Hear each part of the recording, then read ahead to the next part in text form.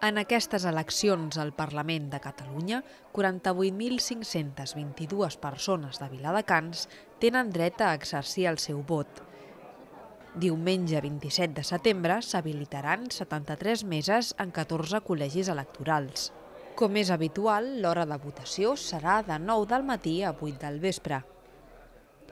Per facilitar que persones amb alguna malaltia o limitació de mobilitat puguin dipositar el seu vot, es pot sol·licitar el servei d'assistència per desplaçament. Per fer-ne ús, cal trucar amb antelació a Creu Roja o a la policia local.